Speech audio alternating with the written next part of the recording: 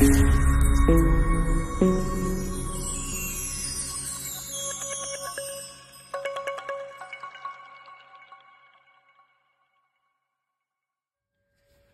me docs, it's Simon here. Welcome back to the Hermit's Cave. I hope everybody's doing okay. Um, it's the weekend, everybody. I love uh, I love the weekends. I love my job and I enjoy every day of the week, but it's always nice when you get to the weekend, isn't it?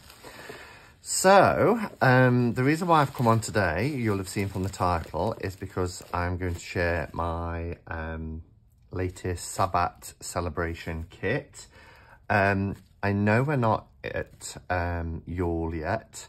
Um, it's still a couple of weeks away. But I don't know, for me, December, I've just realised as well, I've not put my little Christmas lights on. Um, yeah, so for me, December in particular is, where's the coloured ones? Bear with. Hey, there we go.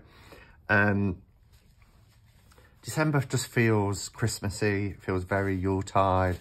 And so I tend to, 1st of December, you know, put my tree up and things. A few people have been asking about the tree. And in the Cup of catch up with cards last week, they asked, uh, a few people asked about the what I put on my tree. So if I remember, I'll try and put a cutaway in now just to, to show you the tree. But basically, I have these beautiful clear crystals hanging from my branches. It's not a tree, it's, it's branches, it's winter branches and I've got my beautiful white goddess, which I got from Bridges Grove. I've also got a hare because, you know, me and hares. Um, and then there's a couple of other little bits and bobs on there that people have sent to me over the years. I only put clear glass on. So there's some hearts and some snowflakes and things like that. So that's how I decorate. I have my, uh, oh, and I've got a Santa at the bottom as well, uh, Father Christmas which I won in a raffle, um, a staff raffle many years ago. So yeah, so that's, um, and I, I, always try and make my space a little bit uh, festive. And candles, I mean, we use candles all year round, but there's something very Christmassy about candles, isn't there? So, um, if you've been a subscriber for a few months, then you'll probably recall that I did um, a walkthrough of the Mabon um, celebration kit by Sons of Asgard. But when it came to getting the um, Samhain one, they'd completely sold out. And I, I did kind of get individual pieces. Uh, one of the things was this uh, Beyond the Veil spray. Um, and I got some incense and things. But I decided to get it early. So I have had this about a week now. Um, but I thought I'd open it because I wanted to start using some of the um, the products inside. And I love the products from Sons of Asgard. They're. So we get three candles. Um, and, you know, there'll be information about these. But these are kind of like little altar candles. We've got some um, oil. We've got some crystals. Well, looks like there's some howlite in there. Um, then we have this big candle, a larger candle, which has the three colours together. Spray. And we have some incense and some more um, I, I use these more for my little offering bowls that I have on my sacred space rather than burning with them. Some charcoal discs. Let's remove the packaging. And then we get this little sheet on the inside of the box as well. There we go. So it says Yule. Oops, just knocked the camera. 19th of December to the 23rd of December, which is the winter solstice. The holiday of Yule was celebrated long before Christians adopted the date. Too true. Many of the Christmas traditions we see, see today stem from old pagan customs. The Christmas tree is just one of them. Its original name was a Yule tree. As the solstice, it is the longest night of the year. From this day forward, light begins to return and we celebrate the rebirth of the sun god and I, I will at Yule also do another reading from uh, Lunar Moon here. Um, the traditions are lighting the Yule log, a wreath, making a wreath and gift giving, and correspondences are pine, holly, myrrh, and cinnamon. Isn't that lovely? So I'm just going to grab the iPad as well so I can read to you what exactly is in the um, kit. So just bear with.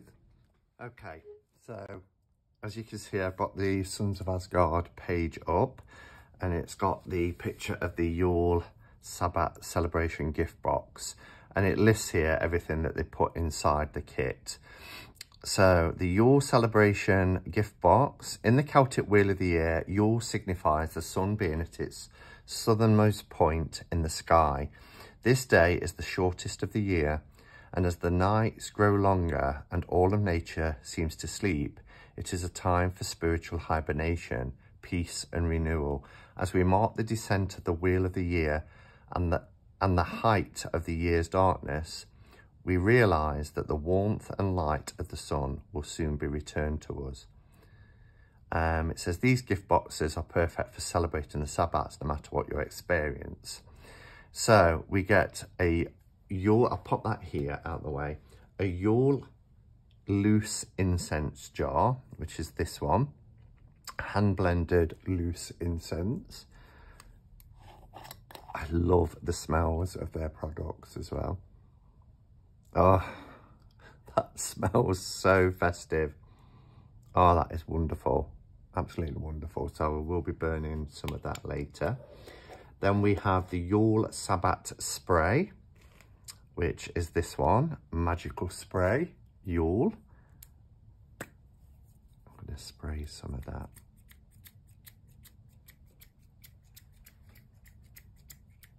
Oh, oh that smells lovely. So Yule Sabbat spray. And then we have the Yule Magical Oil. I love these because these can go directly onto the skin as well. So I do, um, you can, I mean, you can use them for anointing and things like that, but they're nice just to put on the pulse points and rub them in. Oh, it smells wonderful. So that's the um, magical oil. And then we have um, the candles. So we have a white spell candle. And then we have the light blue scale, uh, scale, the light blue spell candle. And then we have the sky blue spell candle. And candle magic is really, really easy to do. Um, if you're not sure, just do a very simple Google search on candle magic or candle spells. And uh, you get all the corresponding colours and everything. And then we've got the Yule Mini Triple Spiral Candle, which has the three of them together. And these are in beeswax, which are really nice. And then for our crystals, we do have Howlite, which I thought I spotted. In fact, ah, that's broken. That's a shame. I could say those two pieces, but, well, there's two pieces now, but that's actually, that's actually broken, which is a shame but that's fine. Let's pop them in here. And then we have a um, milky quartz, which is really nice, milky quartz. And here we have a sodalite crystal, which is that very deep blue, which is really lovely. So I'll just pop them there for now. And then we have the Yule Herb Blend. And again, I use these for um, offerings. I've got two little offering bowls, one to the god and one to the goddess on my sacred space. And they change.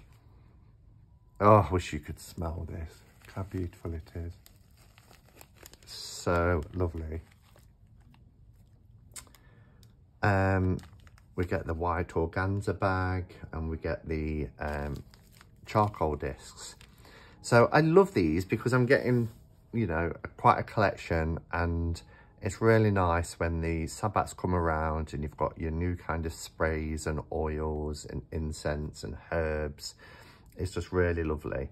So I'm going to light some of this um, and yeah, just enjoy feeling festive. So thank you for watching everybody. Just a quick video today. Um, and yeah, look after yourselves. Have a fantastic weekend. And until next time, go in peace. Namaste and blessed be.